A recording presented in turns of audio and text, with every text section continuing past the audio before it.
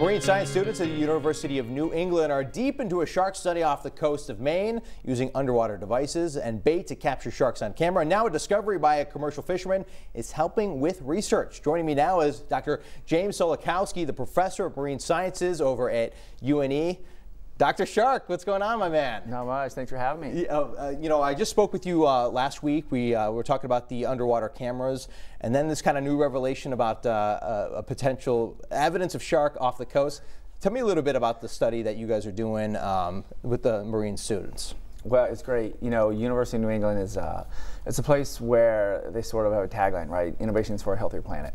And that's kind of what we're really doing. You know, sharks live on our planet. We live on the planet. We're trying to get everybody sort of on the same page and interconnected.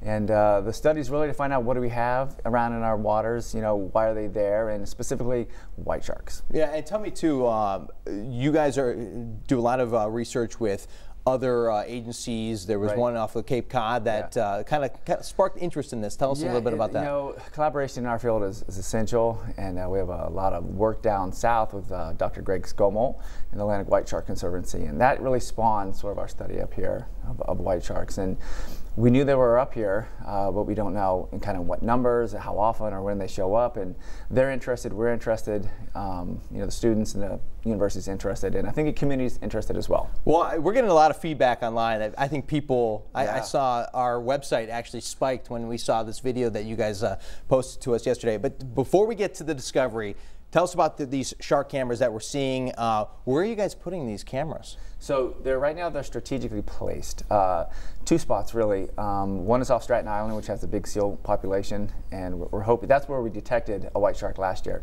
So we're hoping to kind of get that on film. The other one's a little closer to shore, and we know that there are sand tiger sharks swimming around in that area.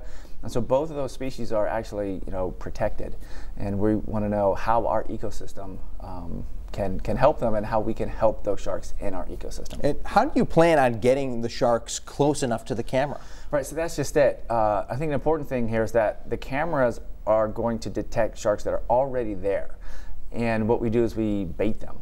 And so sharks swimming around sort of sense that bait and they go check it out. Um, so it kind of lures them away from the beach, kind of allure, it, it lures them away from the island, uh, and hopefully we get a great little snapshot. So uh, opposite to what most people think is that the bait's bringing them closer to people on shore. No, it's, it's, kind of the bait. Yeah, is, is yeah. kind of bringing them away, away from, away shore. from yeah. shore, away from people, and it's just detecting sharks that are already there. It's not like bringing sharks in from offshore, all these different areas. So it's just trying to get a. It's like us going to the mall. We're already there right? And so uh, sales at a store kind of entice us to come in, sure. right? And it's the same kind of concept. Okay, that's a good way of putting it too. All right, let's get to the discovery now. Um, so two days ago, I spoke with you. The following day on Friday, you guys got a uh, was it a call from a commercial fisherman? Yeah, you know it's it's great when the community gets involved, and it, it was one of those things where hey, you know, we see something kind of strange um, just off the, the, coast of uh, Wood Island, you know, Stratton Island, kind of that area, and like oh, you know, I thought it was one of our lost receivers,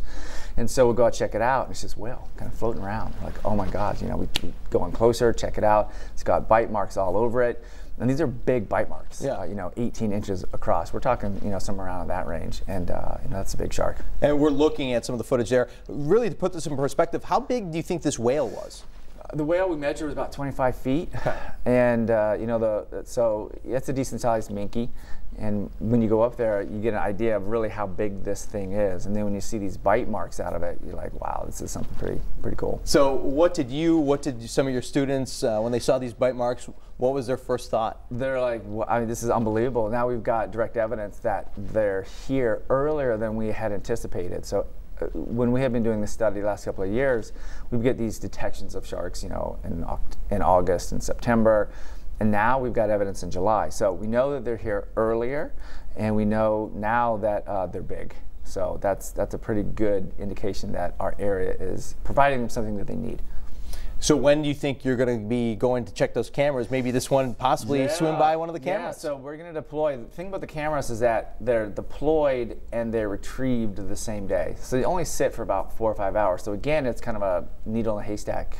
Uh, and this year, really, we're seeing if they work because uh, you know um, they may not, with given our conditions out there. So they look like they're they're doing their job. So we're pretty excited. Yeah, you're saying you're already seeing other species of fish just not the fish you guys are looking right, for exactly, yet. Right. Yeah. So we're, uh, you know, it's great. I mean, the technology's there. It's, it's doing what it's supposed to do. We're seeing fish. We're seeing all these cool things, but we haven't snapped that that white shark yet. So we're excited. Uh, It'll this happen. seems to be an exciting time uh, Yeah. for UNE.